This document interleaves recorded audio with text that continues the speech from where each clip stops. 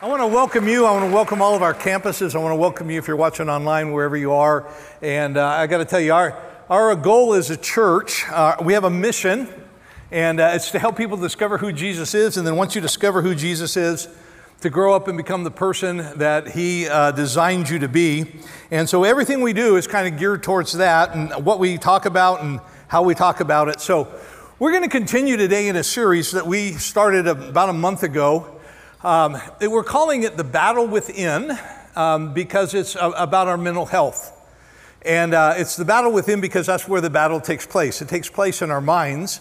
And uh, it's a battle that all of us at some point or another are engaged in. And so uh, I think one of the things that we're trying to bring to the subject is a sense of no taboo. Um, it's perfectly okay to talk about this in church, it's perfectly okay to talk about it personally and uh, just be able to say, you know what, Here, here's, a, here's an issue that I'm struggling with. One of the reasons why it is okay um, to not be okay is because none of the rest of us are okay. We pretend to be okay, and we come to church and act like everything's okay, um, when the truth of the matter is, and I've said this as strongly as I know how, I know this from years of being a pastor, everybody has a struggle with something. I've referred to it as your it. Everybody has an it. Your it might not be my it, and my it might not be your it, but everybody's got an it, and uh, it can overwhelm us at times, and it can get the best of us. And if I told you that I was struggling with some sort of like a physical thing, like I, I you know, hey guys, today I, I feel sick, I feel like I have the flu, so please bear with me, you would bear with me. If I told you, you know, spiritually, hey, I'm just kind of, I feel like I'm under attack today, so please bear with me, you'd bear with me. If emotionally I said, you know, I'm just really upset um, because I heard some things about, you know, my family, you'd, you'd go, oh man. Uh, but when we talk about anything mental, all of a sudden it's like, oh, oh, oh. But the truth is, everybody has mental health. And everybody here has physical health. If you're alive, you have physical health. There is, there, when you're dead, you don't. But if you're alive, you might be poor, but you have it. And everybody has mental health, and so it's perfectly okay to be here. Now, what I want to do is I want to kind of turn this conversation. I want to point something out that we have not yet pointed out, and that is this that I want to explain to you that mental health issues um, tend to run together.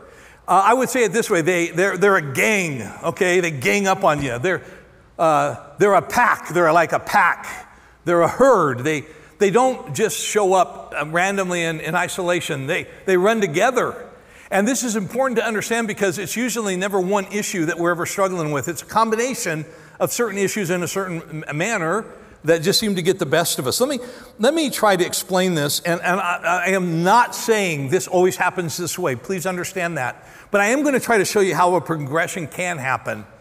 Um, and, and again, these are not I'm going to put them in a certain order just to make a point to illustrate it. But this is the kind of thing that I'm talking about. See, you, you might one day wake up and you find yourself you're f- afraid of something. So you got fear on your mind. And, and this fear of whatever this is is kind of consuming you. And before long, you start feeling anxious about it. And, and so you're feeling anxious, and all of a sudden, you're not really thinking about the fear, you're thinking about the anxiety. And then the anxiety begins to stress you out. And so you're starting to feel like I feel a bit overwhelmed with this stress. And, and, and, and then you start, once you start feeling overwhelmed, uh, man, right around the corner is burnout, where you just feel like I've just had too much. I, I, I can't take anymore. And, and so when you start feeling burnout, you might be like, I got to find some way to cope. And so you're coping, and then what could happen is you could actually begin coping with something that becomes harmful, which is not uncommon and uh, then you find yourself using something uh, uh, unhealthy, and then you find yourself addicted to something unhealthy. And you go, How in the world did I get here? Addictions can lead to despair, despair can lead to depression, depression can lead to suicide. Now, I am not saying that it's a wheel that once you get on it, you can't get off. What I am trying to say is all of these things tend to relate to each other. You don't need to be addicted to experience depression, you can get there different ways. But they, they always to, they run in some sort of a herd, a pack, a gang, and they jump on you and you get overwhelmed. And that's the point I want to make. Because of this, uh, the nature of this is why we can't talk about all of it in one talk. It's too much, it's too complicated. So, what we've tried to do is, is we've taken each uh, of these weeks and we've tried to isolate an issue and kind of like pull it aside, set it over here, and say, let's just look at that thing today. That's all we're going to look at. But you don't do that in isolation as if only that exists. It's in addition to other things, some of which we've already talked about, some of which we will talk about uh, in, you know, in the days to come. And so the problem is, is that so many of us, we don't really want to talk about it because we don't want to think about it. And the problem with that is it's like the check engine light in your car coming on. Whenever the check engine light comes on, the problem is not the check engine light. Can I get an amen from anybody who understands what I just said? It's not the check, it's working. It came on and it's telling you there's a problem. It is not the problem. There's a problem under the hood, under the car, somewhere. There's a problem. It is telling you address the problem. But when it comes to mental health, most of us are so wigged out about it, we go, I just don't want to talk to anyone. And so we suffer alone, we suffer in silence, and then our family suffers. And so the problem just gets bigger and bigger. So we want to fix this by getting to the source of it, talking about it, putting it out on the table, and going, it's okay to talk about. And so our thing has been, it's okay to not be okay. You don't need to pretend to be what you're not when you come to church. When you come here, don't bother to pretend. Don't bother to you know, act like everything's fine. It just come and just be who you are. Now, I would say this, it's okay not to be okay, but we don't want you to stay uh, uh, unokay uh, for long because there's help, and we can talk about that. So that's what this series is. We're having fun. Next week, by the way, we have a special guest. His name is Ben Foot. He's going to talk about depression, and then again, something that often goes with depression is suicide. So we're going to deal with that next week. Don't miss. Next week, it's going to be fantastic. But let's let's get to what I want to talk about today with you. We're going to take two subjects uh, out of this, you know, this whole batch of issues, this gang. We're going to isolate two characters, and we're going to just talk about them. We're going to talk about stress, and we're going to talk about burnout. They tend to go together, all right? Not always, but they tend to go together. So we're going to isolate these two. And I'm going to ask your permission, uh, which every now and then I, I ask this. Please understand that I don't want to just jump into the Bible. And not because I don't think it's relevant. I want, to ta- I want to talk about the subject. I want to talk about stress and burnout. And then I want to show you what the Bible says about stress and burnout. Not just jump in and talk about, the Bible says this about, because I don't think we'll be prepared. So let me just talk about stress and burnout. And then trust me, we will get into the Bible, but we'll do that towards the tail end of this. So to get ready for that, open your Bible to uh, Exodus chapter uh, 18. Okay, there's the second book of the Old Testament, just the very beginning of your Bible, and just kind of hold that, and we'll, and we'll get to it in just a bit. Okay, so what is stress? What is stress? Let me give you a definition of stress that we might be able to work from. Stress is a natural and generally healthy emotional response to challenging or demanding situations.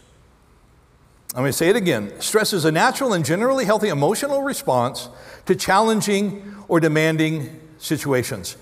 All of us Every last one of us, you, me, every one of us, every one of you, every one of you, all of us experience stress at one time or another, whether you want to or not. All of us experience, let me stress that again. All of us experience stress. There is nobody here, there, or there who goes, I, I, why did I come to church today? This does not apply to me. It applies to absolutely all of us, okay? Stress occurs when we feel or perceive some sort of threat, some sort of something that is like going to take something from us. It, it, can often come in the form of a challenge of some sort or another. But what happens is, is when you feel stress, your body then does some stuff. It releases cortisol, it releases adrenaline. And you get kicked up into this mode of fight or flight, and there's more to that, but just, just use those two. Uh, am I going to fight or am I going to flee? Am I going to uh, go at it or am I going to go away from it? I believe with all my heart that the fight or flight response is a gift from God to prepare you for how you're going to deal with whatever the stress thing is that's coming at you. And um, I want to I want to read something that I, I, uh, my friend Jerry Harris, who is a pastor, he wrote this, and I just love the way he wrote it. And I'm just going to read what he wrote. Uh, he said this stress might be triggered by illness, injury, parenting, infertility, bereavement, abuse, marriage, divorce, relationships, or caregiving. You might have lost your job, be unemployed long term, retiring, feeling the pressure of deadlines, exams, work strife, or a new job. You might be moving, dealing with difficult neighbors, worrying about money, or drowning in debt. Did we hit it? I mean, out of all of that, surely you're going, yeah, yeah, mm-hmm. My guess is it's more than one. You're going, yeah, uh, yeah, I'll take the, that one and that one and that one. Everyone experiences stress. You're normal. It's the, it's the way of life. Now, I want to say this. You might go, okay, well, you hit it, but man, those are some big issues, you know, divorce, I mean, those are big issues. I, I want to just point out, it doesn't take a big issue to stress us out. In fact, people who study this have come up with a list, um, which again, I'm shortening by far, of the little things that can stress us out. You can get stressed out, you know, just um, getting stuck in traffic. Can I get an amen? You're like, why are you so upset? Because, and then, you know, this idiot, and off you go. And you're overwhelmed. How many of you ever stressed out because you spilled something on yourself? Yeah, thank you. And you get there and you go, oh my God, what is that? it's toothpaste all over my black shirt. And you know, or, or your makeup or whatever it is, you, you, you, spilled your coffee on the way and you, you, know, you go to work and it feels so. The littlest things can set us off. Uh, waking up late for work. Everybody's done that. And you're racing and you're just uh, you know, feeling the pressure, uh, struggling to find a parking place and you out in, in, a, you know, in a place where the parking's tight, sending a text message to the wrong person. Everyone has done that. And all of a sudden, you got really intimate when you thought you were talking to your wife or your husband, and some guy on the other end goes, I didn't know. You know, thanks, thanks for that. Uh, checking your bank balance, having less money than you expected, that'll stress you out. You, you're going somewhere, it's important, and you, you, you already planned what you're going to wear, and then you discover it's in the wash. That'll stress you out uh, you, you have to send an email. So you send an email. It's really important that you do this on time, and you did. And then you discover it was stuck in your drafts file. And uh, you just go, it doesn't take a big thing. We are prone to stress, and that's what I want you to understand. Now, I do want to point out just a couple of things. There's different kinds of stress. There's what's called acute stress and chronic stress. Important to understand. Acute stress is short lived but intense. It's when you get a call and you say, hey, um, don't, I, I don't want to panic you, but your, your son has been in an accident, or you get word that you know, someone's in, uh, in the hospital or somebody's health's failing, there's a family emergency. Any of that's acute. It's intense, but short lived. And all of a sudden, it's just you're just. And then there's chronic, which is the opposite. It's, it's when you're stressed out. It's not intense, but it's uh, prolonged. You, you know, you find out your, your mom's apparently suffering from dementia. You find out, you, you know, your father, you know, whatever, you get the idea. And it goes a long time. It's, it's stressful. And, and, here's what I need you to understand whether it's acute or it is chronic, um, your body's going to react. And in fact, here's just a couple of ways. And again, I'm making this very simple. Physically, you're possibly going to get headaches, you're going to feel fatigue, you're going to feel muscle tension. All of that is physical. You're going to go through some emotional, uh, you're going to feel anxiety and maybe irritability. Cognitively, meaning your thinking ability is going to be skewed. You're going to get in a fog. Uh, you're going to have a hard time processing. You're going to find yourself thinking negative thoughts. All of that can affect.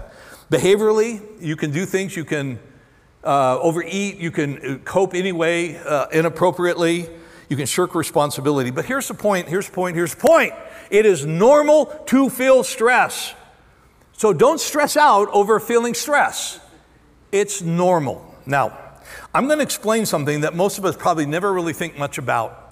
And uh, this is really, really important to understand what I think God's Word has to say about the subject. So, this is, I'm going to take you down a road that most of us never really walk down. I'm going to explain to you two types of stress, not acute and chronic, those are time oriented. I'm going to explain two types as, as far as all of us deal with. I'm going to use a word that most of us have never heard and most of us would never use, but it is the right word. And if you look this word up, this is going to find, you're going to find this is exactly what it's talking about. So here's the word. The good kind of stress is called eustress. Now, by eustress, I don't mean Y-O-U, I, I mean EU, which is the, the hyphen for good. Good stress. You go, what are you talking about? Yeah, there is a good stress that we can all experience.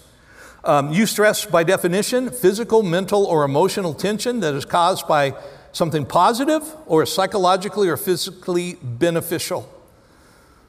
Uh, good stress comes into your life whenever there's a challenge put before you and you have to decide are you going to rise to it or you're not.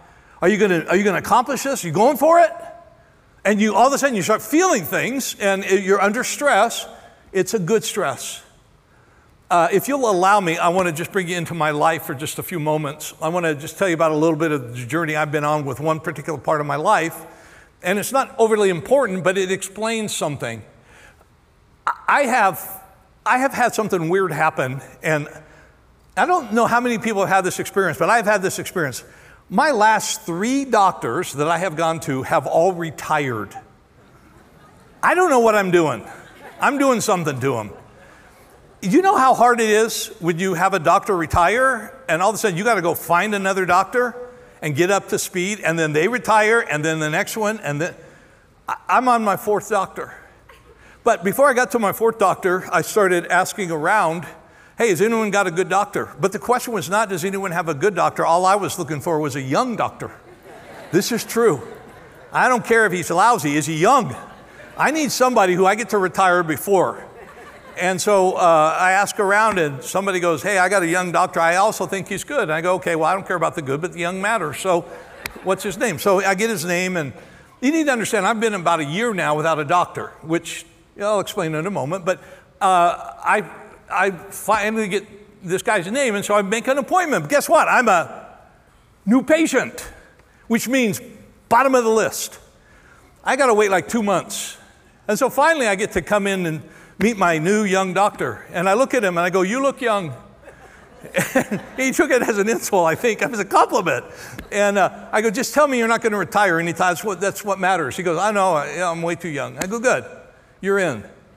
And then he goes, Well, what brings you in? And I go, Well, honestly, I, I feel fine. I feel great. And folks, I do. I feel great.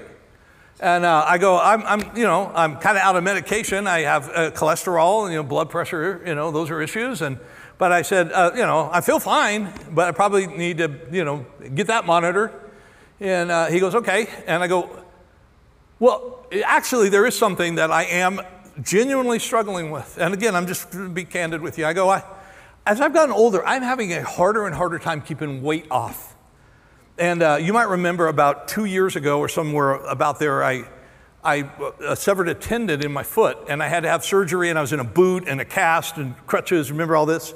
Well, I just, I, I'm just, I can't keep the weight off. And I'm like trying to go back into a routine. And so I just told him that. I go, I go, hey, I, am just having a hard time keeping weight off. You could give me any advice. And he was, uh, he, he was very honest. He, he said some things that were, not, were, were I did not want to hear. He, he, this is what he said, and it's what you would have predicted he was going to say. He talked to me about what I eat. Very rude, very inappropriate. Talked about how much I eat, how often I eat, when I eat, and he's just like, what is this your business in any way? Um, so we went through all of that, and you know, and there's nothing I can say like, oh, you're kidding, I didn't know that. Uh, so he gave me that lecture uh, appropriately. And then, and then he said something that really, this is, I'm just to be straight with you, okay? It just threw me.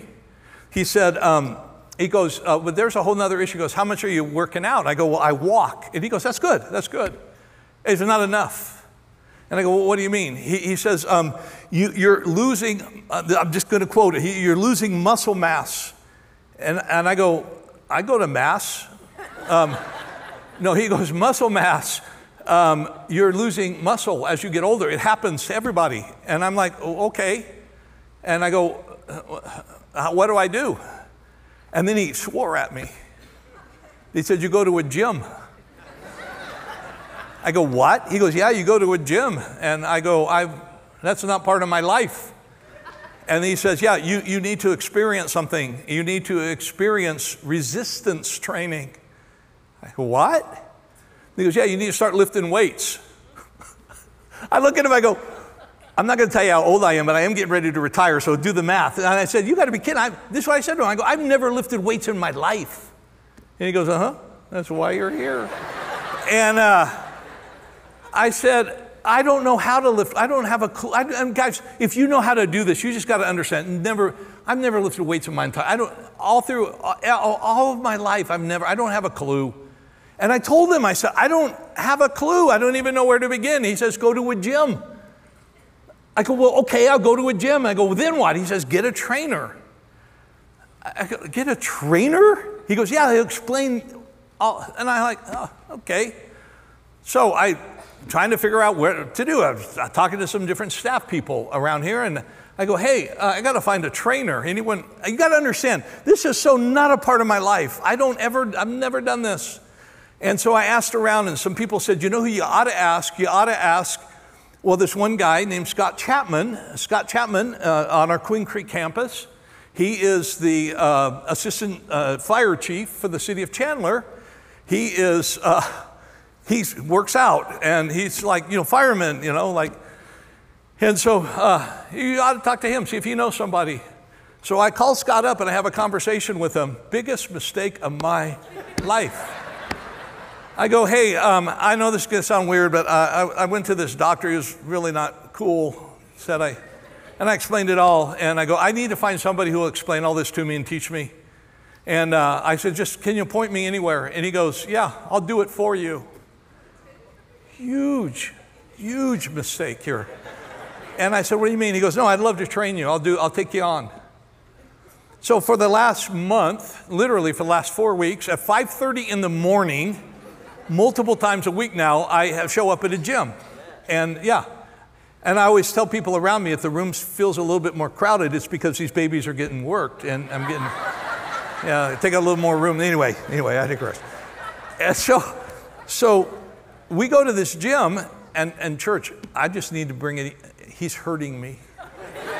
He's, and, and you know what? He's doing it on purpose and he's enjoying himself he gave me a book and he said, You need to journal what you're doing.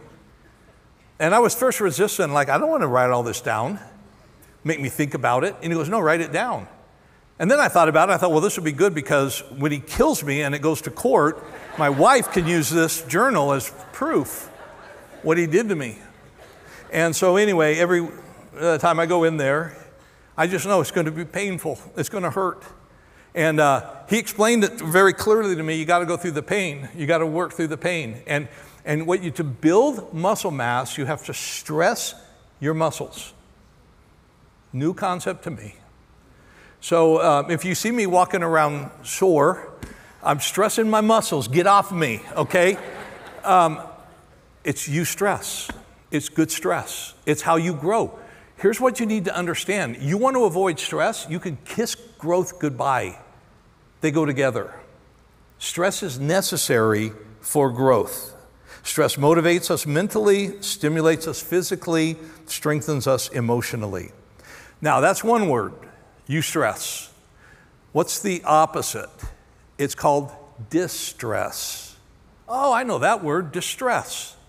Yeah, distress is bad stress. By definition, great pain, anxiety, or sorrow, acute physical or mental suffering. That is bad stress.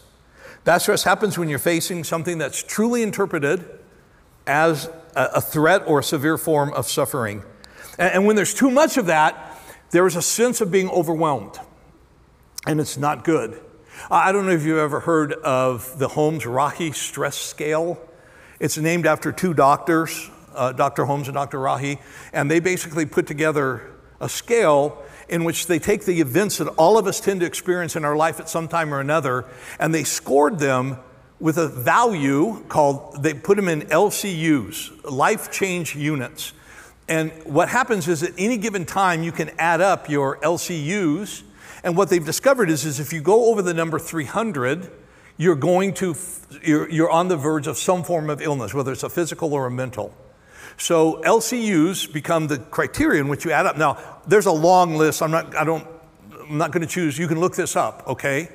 Um, and just look up stress scale, and you'll see you'll, this what will pop up. Let me give you an example, though, of some of the things that are on the list to give you an idea. Okay, so if you experience the death of a spouse, that's 100. That's the big one, okay? 100. If you go through a divorce, that's 73. The marital separation is 65. If you have any time of jail term, uh, 63. Uh, if you uh, get married, 50. Points against you, okay, just so you know. Uh, you get pregnant, 40.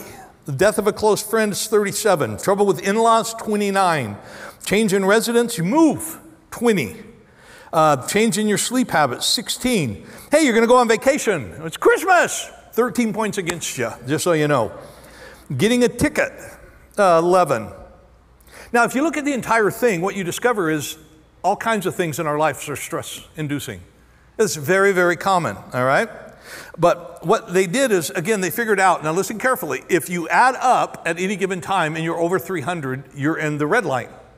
You're, in, you're over the limit and you're in danger. Now, I want to tell you something. I want you to hold this in your memory for just a few moments. People have studied the life of Mary and Joseph, the earthly parents of Jesus, and they've run the numbers on them and their life. I don't have time to break all that down right now, but they came up with a score of 435. 435. And you know what's not on the list that you can measure? What happens when you're a young Jewish woman in a Jewish culture at the time of, you know, two, uh, you know 2,000 years ago, and, uh, and, and, you have a, your betrothed, and all of a sudden you come up pregnant, and your best explanation is, I don't really know, man, it was the Holy Spirit. How do you score that one on the scale? That's not in the 435, that's on top of it. Why am I telling you this? I, I, when I land this thing in just a moment, I'm going to explain something. Jesus understands your stress. He was born into a family that had a lot of it, and they were wonderful people. Stress is not the enemy. Too much stress becomes the problem. Now, let's talk about too much stress. We're going to call this burnout. Burnout. Uh, burnout is when you're mentally, physically, or exhausted for a prolonged period of time. It's more than just being tired, it's feeling drained, it's feeling overwhelmed, it's disconnected to what used to motivate you. You lose energy, focus, and sometimes you lose your passion for anything. If stress is too much, burnout is just too little. I just got nothing left. It's all this. It's all been. I mean the the sponge is just nothing. It erodes your optimism, your energy, your effectiveness. Let me, let me show you an example. Now we're going to jump in to Exodus chapter 18. I want to talk to you about the life of Moses. Now, Moses is arguably, I mean, without question, one of the biggest characters in the Bible, just so all have a context. I want to just explain to you a couple of things about his life.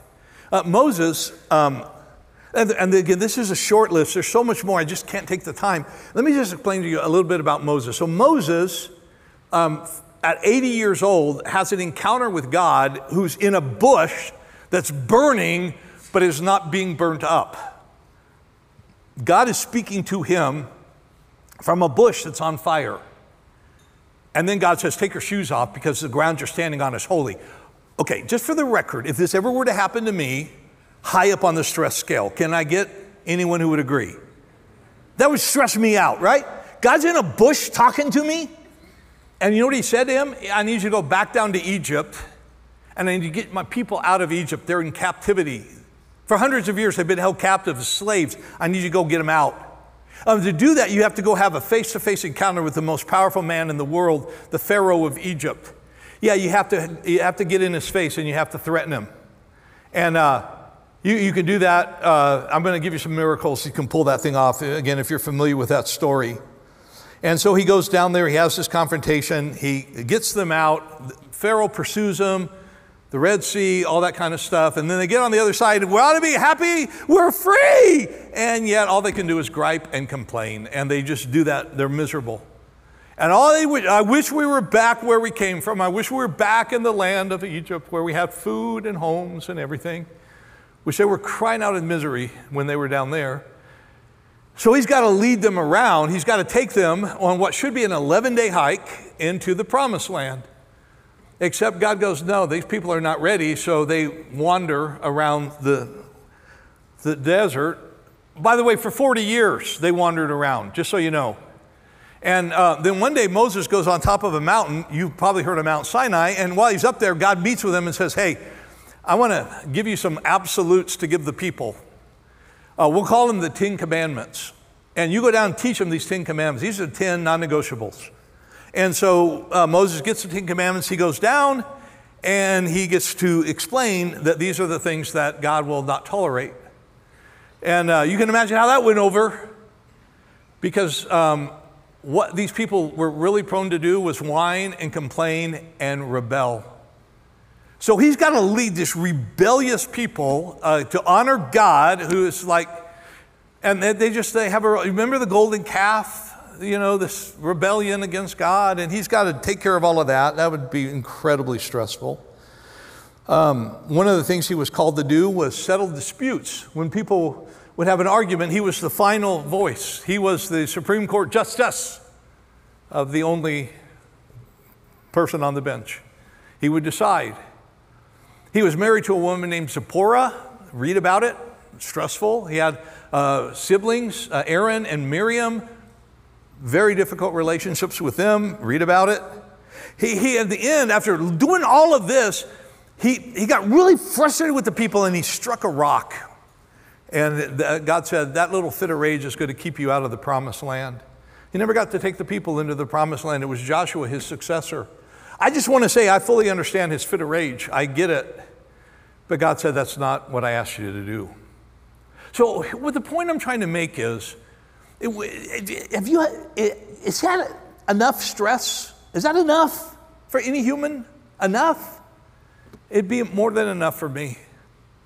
Now, I want to take you to Exodus chapter 18. I want to show you something that happened that I just think says a lot. Exodus 18, verses 13 down to 26. I, I, I, always encourage you, I will do it again. Bring a Bible. I want you familiar with the Bible. It's your friend. You don't need to fear it, but you got to become familiar with it for it to be friendly. And so bring a Bible. Exodus, the second book of the Bible, chapter 18. We're going to read of something that happened one day in the life of Moses. Here we go. The next day, Moses took his seat to serve as judge for the people and they stood around him from morning till evening. Okay, well, you think you have long days? From morning till evening, day in and day out, week in and week out, year in and year out, from morning till evening, he had to sit and listen to all these arguments between the Israelite people.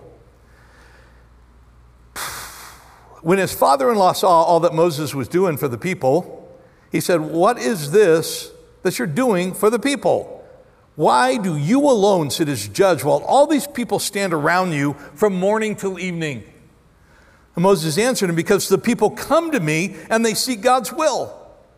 Now, whenever they have a dispute, it's brought to me, and I decide between the parties and inform them of God's decrees and laws. It's my job. Moses' father in law replied, What you're doing is not good. You and these people who come to you will only wear yourselves out. You're all going to burn out. The work is too heavy for you. You cannot handle it alone. Listen now to me, and I will give you some advice, and may God be with you. You must be the people's representative before God and bring their disputes to Him. Teach them the decrees and laws and show them the way to live and the duties they are to perform. But select capable men from all the people who fear God, trustworthy men who hate dishonest gain, and appoint them as officials over thousands, hundreds, fifties, and tens. Have them, it gives you an idea of the scope, all right? Have them serve as judges for the people at all times, but have them bring every difficult case to you. The simple cases they can decide themselves. That will make your load lighter because they will share it with you. If you do this, and, and so God commands, you will be able to stand the strain. Let me paraphrase. You can stand the stress, and all these people will go home satisfied. Moses listened to his father in law and did everything he said.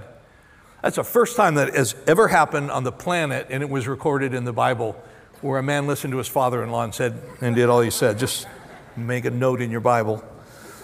He chose capable men from all of Israel and made them leaders of the people, officials over thousands, hundreds, fifties, and tens. They served as judges for the people at all times. The difficult cases they brought to Moses, but the simple ones they decided themselves. Well, that makes sense. Moses, why do you think you got to do all this? Who made you judge? Hmm. Moses, why do you feel like everybody, you have to be there for everybody? Let me translate in more recent vernacular that we've used. Moses, why have you no boundaries? Why have you no boundaries in your life? What, what makes you feel like you can do this? What makes you feel like you should do this? What makes you think God wants you to do this? And Moses' father in law says, and you're going to kill yourself. You're going to kill everybody around you. Um, remember, I told you they whined and they complained, and Moses had to put up with it? a, a, number of years ago, and I don't, really don't remember, it was a decade or 15 years ago or something, I don't know. Um, there was a, I have a couple of men in my life that have mentored me through the years in ministry, and uh, significant men in my life. And one of them, a number of years ago, I was meeting with uh, in another state, and I went there to visit with him, and I was talking to him, and he, how's it going? And I, how's it going? And I said, oh, I said, I, I'm, I'm, I just feel overwhelmed. He said, well, tell me about it. I said, oh, I just, I feel like there's so much is required. And I, and I find, just how he said, I go, I feel like I'm, I find myself angry that I have to do what my schedule demands I do. I just find myself just getting like short fuse, like it's too much. And um, I was just whining and, and, and griping. That's what I was doing. And I thought I had a sympathetic ear. And then he looks at me and he goes, So, um, who's in charge at your church? I go, What? He goes, Who's in charge at your church? And I go, Well, what do you mean? Who's the senior pastor in your church? And I go, Well, he's an idiot. I go, I am. And he goes, Oh, so you feel like you should drive your staff that hard?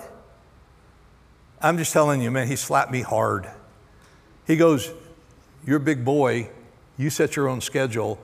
When it's too much, you're to blame. I got to tell you this now, let me get out of that story. This is a fantastic church. And I'm, I'm biased, yes. I've been here a long, long time. This church does not destroy families that work here. I have nothing to complain about. You know who's doing that? I was doing that. I was doing that to myself. And what he slapped me around and woke me up to is why don't you set some boundaries? Why don't you do what you need your people to do? Why don't you be a man and, and draw some lines around your time and quit blaming the church? Changed my life. Just changed my life. So let me get real personal with you. I know there's stress in your life. Is it too much? How much did you invite in because you refused to say no? You could have said no. And then you're mad and you're angry and you're frustrated because you got to do something. How much of, uh, where's the boundaries? So this is Mo- Moses created this mess. And his father in law woke him up to it. Listen to me, church. I'm not your father in law. I'm not a doctor. I'm not a therapist. I'm not a counselor.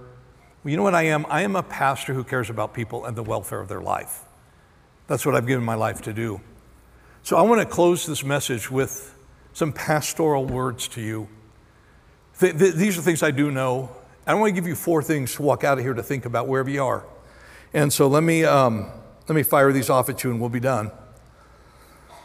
Number one of four things I want to tell you. Number one, understand that God loves you and He cares about your struggles.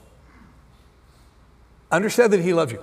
I've said this so many times, I, I don't know how to say it any better. God is for you, He is on your side. He is, He, he wanted you in His family. He's, he's not against you. God, God is your friend. He's your father, His family. He wants nothing but the best for you. 1 Peter 5 7, cast all your anxiety on him because he cares for you. Isaiah 41 10, so do not fear, God says, for I am with you. Do not be dismayed, for I'm your God. I will strengthen you, I will help you, I will uphold you with my righteous right hand. So, first thing I need you to understand is God is there for you, which takes me to the second one surrender your stresses to God. What does that mean? It means quit hanging on to everything. Quit being like, I got, it's got to be me, like Moses. I got, they bring it to me. And what Jethro showed him is there's so many other people that are capable to do what you think only you can do. Why don't you give your stressors to God and go, God, help me to find balance here. Philippians 4, 6, and 7. Do not be anxious about anything, but in everything by prayer and petition, with thanksgiving, present your requests to God and the peace of God, which transcends all understanding, will guard your hearts and your minds in Christ Jesus. I'm going to say a saying that it's going to sound so churchy, it's going to sound so cliche ish, and I get it. And I'm going, to, I'm going to say it, and then I want to just make a point. There's an old saying that goes like this If you're going to pray about it, don't worry about it. If you're going to worry about it, don't bother to pray about it. What does that mean? It means at the end of the day, in your mind, in the battle for your mind, either you're going to see yourself in control of the problem or you're going to see God as control. That's what that's driving at. If you're going to take control, all you got to solve the problem is your own resources. If you let God take control of the problem, you got His resources. So if you're going to pray about it, just give it to God. And again, I'm not trying to sound trite. I know it's not just pray more. But if you're truly praying and giving it to God, let God have it. And then you, you take a nap. He's got it. He'll take the watch. But if you're not going to give it to Him, just prepare. You're going to be stressed out. It's going to overwhelm you. But you can't pray and worry. Pick one. I think it's incredible wisdom. Here's a third one establish the margin that allows you to rest. Rest is huge in the issues of mental health. Um, if you're simply exhausted all the time, you are redlining your engine. And if you don't understand what redlining, too many RPMs. You, so on your car, on that tachometer, there's that red section that comes after the eight or wherever. And if you run that engine that hard into that red zone, something will break. It's just telling you, you can, you can get there, you can do it, but you can't do it for long. If you're exhausted all the time, stressed out all the time, you're redlining. And I want to say something, I hope this is going to make sense to you. Too many people let their faith stress them out. What am I talking about? Too many people think that God's like this judge watching every screw up you make and counting points against you, like the scale, like, oh, you think you're going to heaven on what you did, who you are? If your understanding of God doesn't fill you with hope, fill you with life, replenish the emptiness inside you, you don't understand who God is because He's for you. So many of us are so afraid He's counting every screw up, and I goofed up again, and it's so stressful. What makes you think God is keeping score on your screw ups? He's for you. So if your faith isn't like bringing life to your, you're doing something wrong. The engine light came on. This is not healthy. Jesus said these words Come to me, all you who are weary and burdened, and I will give you rest. Take my yoke upon you and learn from me, for I am gentle and humble in heart, and you will find rest for your souls. For my yoke is easy and my burden is light. Sound like your God? That was Jesus. That's why God established a, a Sabbath rest.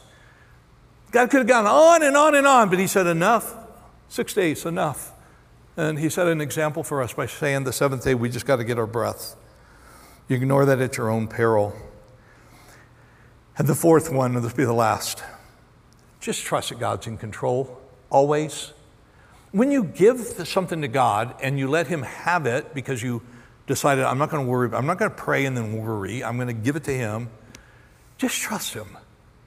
He, you go take a nap, He's got it. He'll stay up all night taking care of your issue. You, you go get some rest. Proverbs 3, 5, and 6 says, Trust in the Lord with all your heart and lean not on your own understanding. In all your ways, acknowledge Him. He'll make your path straight. Trust God. Give it to God and relax. Trust Him. Um, when I was uh, first became a believer, I was a high school senior, and um, one of my friends had in his room a poster that was taken from the Simon and Garfunkel song "Bridge Over Troubled Water," waters or whatever, and um, this, it was kind of a psychedelic 70s kind of a thing, but it said uh, God, a bridge over troubled water. And it showed a storm and a bridge, like a stone bridge. And, and the idea was that when you walk with God, you get to walk over the bridge, over the storm, over the waves. And I thought that was the coolest thing. I thought, yeah, I, I just, be, just began my journey with God. And this is going to be so awesome because I, I'm never going to I'm not going to face the storms I would have faced without him. As years have gone by, I've thought about that poster. So me, that's the stupidest thing ever. Do not buy that poster if you ever see it, all right? God isn't a bridge over, you know what God is? God is a boat to get in that will protect you in the waves of the storm. But you're going to feel the waves, you're going to feel the storm. God's giving you a place of support, he's literally going, just get in here. And uh, yeah, we're going to get buffeted. It's going to, it can be brutal. It can be Milton, you know, you're not Lieutenant Dan, you know, just, just get ready. Um, the storms are going to come. That, that was huge. You know why that's huge? Because God knows that if He doesn't let you feel stress, you'll never grow. You'll never become anything more than you now are. So, just so you know, um, God didn't keep Noah from the flood. He didn't keep Abraham and Sarah from aging. He didn't keep Joseph from prison. He didn't keep David from squaring off with Goliath. He didn't keep Elijah from continuing with the prophets of Baal. He didn't keep Daniel out of the lions. He didn't keep Shadrach, Meshach, and Abednego out of the fiery furnace. He didn't keep Jonah out of a fish. He didn't keep Paul from jail. He didn't keep Jesus from the cross. You could almost make the case that if God's for you, He's going to let you experience your stress, build muscle mass in your faith. It's this image that I, I, I know we've all seen. I just want to put this image in your mind. That's the tree on the, the hill where the wind just beats the thing to death but against all the adversity, it stands strong. Here's another image, the same sort of a thing. We've all seen this. You go, how in the world did this tree grow into this rock? So I want to close by reminding you there's no growth without struggle. And then I want to take you to the last day of freedom for Jesus. I want you to go with me into the Garden of Gethsemane. It's at the end of Jesus' life. He goes into this garden at night. Uh, he goes in there to pray. He brings his apostles. He takes three of them, Peter, James, and John. He goes further into the garden. He says, Stay here and pray while I go further in. He goes further in and he has a conversation with his father. You know what his conversation was? God, is there any other way? Is there any other way? Can I save mankind without having to go through the crucifixion? It was so intense a struggle, it was so stressful that he sweat drops of blood. I have never, and my guess is you have never been so stressed out that you sweat drops of blood. But the next day, I mean, literally through the trials and, you know, through the journey, they take him, Jesus, and they nail him to a tree on a hill. Pierce his hands, pierce his feet, pierce his side. They just never happened to me. You, you, see, Jesus sweat drops of blood because he was going to face a Roman crucifixion, which at the time was the most barbaric, tortuous form of death humanity could conceive of. How can we make you suffer long enough to set an example for anyone who wants to be like you to not want to choose to follow you? Why am I telling you this? Jesus was born into a very stressful family, lived a stressful life, died a stressful death. He gets your stress. Whatever God's allowing in your life, He's doing it to make you better. Until that point, that he's going, Give this one to me, and you're refusing. Eustress is good, distress is bad. I'm going to ask for the next few moments that you would, I'm, I'm going to pray here, and then we'll do this. When you walked in, you were given the, the cup and the loaf. The loaf represents the body of Christ, the cup represents the blood. This was the culmination of Jesus' stress and it was done for you on your behalf to set you free. You don't have to carry it now. You, you, you have this done for you. So, what I want to do is, I'm going to pray here in just a moment, and then I'm going to ask for about two minutes of just two minutes of no one talking at you.